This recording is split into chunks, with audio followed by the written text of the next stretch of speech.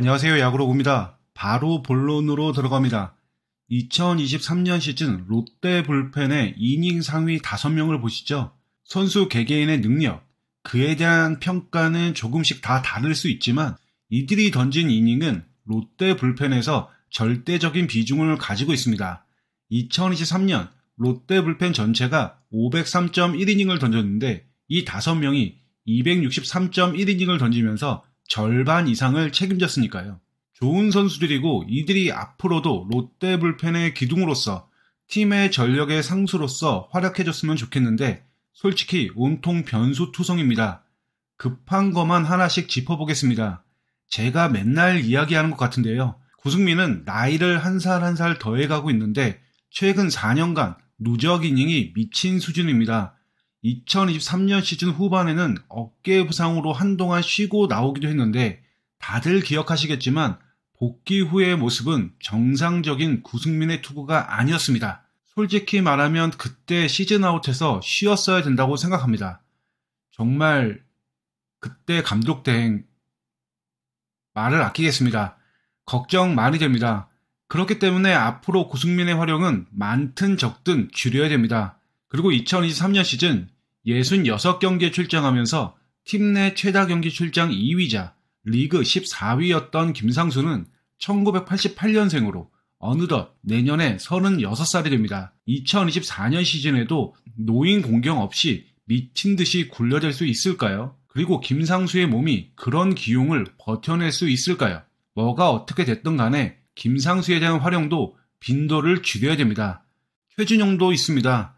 경기 출장이 많거나 누적 인형이 많거나 혹은 나이가 많은 것 이런 것은 아닙니다만 문제는 최준용이 스스로의 몸 상태에 대한 의심을 하고 있고 이로 인해서 타자를 시도하고 있는 중이라는 겁니다.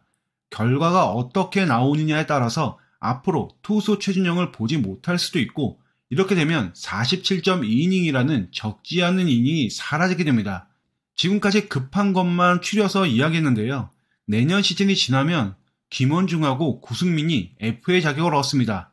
당장도 그렇고 나중까지 솔직히 한치 앞을 바라보기 쉽지 않은 상황이죠.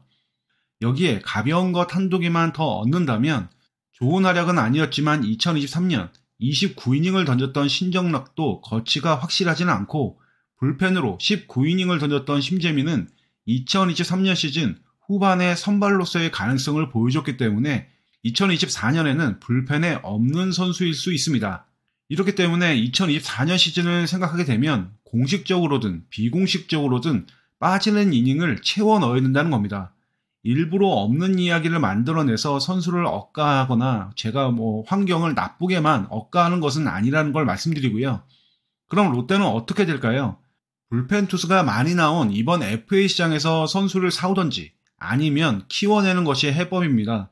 2023년 시즌 10이닝 이상 던진 투수 중에서 김도규, 최이준, 진승현이 가장 눈에 띕니다.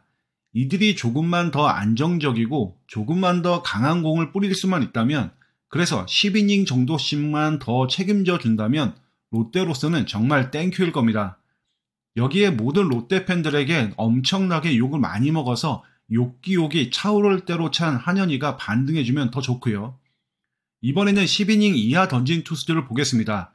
가장 눈에 띄는 선수는 제가 생각할 때는 이민석입니다. 2023년 시즌 한 경기만 뛰고 시즌 아웃되었는데요. 건강하게 돌아와서 30이닝에서 40이닝 정도를 던져준다면 이 또한 천군만마라고 생각합니다. 리스트에는 없지만 군대에서 돌아오는 박진형도 있고요.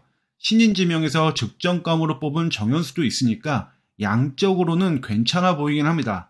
지금까지 2023년 롯데 주축 불펜들의 불안 요소를 짚어봤고 이런 불안 요소를 해결할 수 있을지도 봤는데요. 다행스럽게도 선수가 아예 없는 엄청나게 치명적인 상황은 아니라고 생각합니다. 결국 이번 겨울에 스프링 캠프 등에서 기존 선수들이 회복을 잘하고 어린 선수들이 스텝업을 하는 것이 동시에 일어나야 2024년 롯데 불펜은 큰 문제 없이 굴러갈 것 같습니다. 선수들과 주영강 코치의 어깨가 무거울 것 같습니다.